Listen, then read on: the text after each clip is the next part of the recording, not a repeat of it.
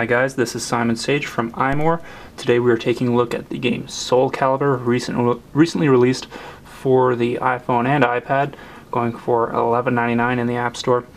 Uh, this is a classic arcade game that's been out on consoles. Uh, it's a very weapon-based 3D fighting game. I've played a, a bunch of it uh, on uh, on both. Uh, let's see here. Uh, I guess the Xbox 360 was where I played it most most of the time, but it's a it's a ton of fun and very very cool. As you can see, we've got Game Center enabled there, and we've got the standard on-screen controls.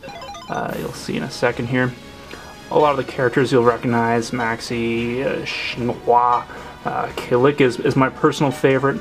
And Mitsurugi is also kind of a badass, he's a, he's a samurai dude. Sophitia is kind of a knight. Ivy's this uh, badass leather-clad girl with a spiky extendo whip. Voldo's this cool kind of circus dude who can't see, obviously, but he does a lot of rolls on the ground and stuff. Uh, Astaroth is this big hulking brute with a giant two-handed axe. Taki is this ninja chick with uh, a little uh, sais or something. Uh, Nightmare is kind of the big boss guy. He's a big, cool demon with a giant two-handed sword.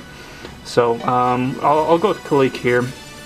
I, I, I, haven't unlocked all the characters here. I don't know if there's there's a lot more there or not, but uh, as you'll see, the gameplay is very familiar for those who have uh, who have played the originals. This here is Astaroth. You got joystick control on the side here. And we got horizontal attacks there, vertical attacks like so. We got kicks. And we've got guards. Come on, hit me. Hey, there we go. So, um, boom. I say, I totally knew what I was doing there. but uh, on uh, on the Xbox, a lot of the uh, special moves like that require you using uh, two button presses at the same time.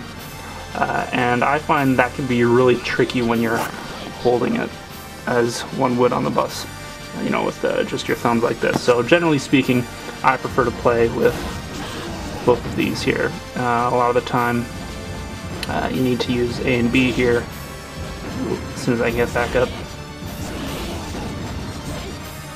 There's one move that's my favorite here. Well, wasn't quite it, but it still works, right? Uh, you might have also noticed from the audio here, although the announcer, uh, he speaks English, these guys don't. Uh, so, I mean, that's uh, that's kind of less than ideal. Uh, it does kind of throw off the illusion a fair bit, uh, which is unfortunate, but um, I also find that the announcers' sound files are a little low resolution, but uh, that's just me. If you've uh, if you spent any time playing the the original Soul Calibur games, you'll be really happy to see this on here. The 11 uh, the 11.99 price tag might be a little much for most people, though. Uh, I, I would personally like to see a price drop relatively soon, um, and may maybe some DLC for some new costumes and, and what have you. Um, I also haven't seen anything in the way of multiplayer support, which would be really great, being able to play this on two phone uh, with uh, with two iPhones via Bluetooth, say, or even online through Game Center. But uh, that's wishful thinking for the time being. Uh, personally, I'm, I'm really glad to see that the franchise is on iOS, uh, but I'm, I'm definitely looking forward to more of it. So. Um, I'm uh, I, I, would wait for a price drop to pick this one up just yet but uh, it's still great for uh, for big fighting fans. Anyway, this is Simon Sage from iMore, and uh, this has been Soul Calibur for iOS.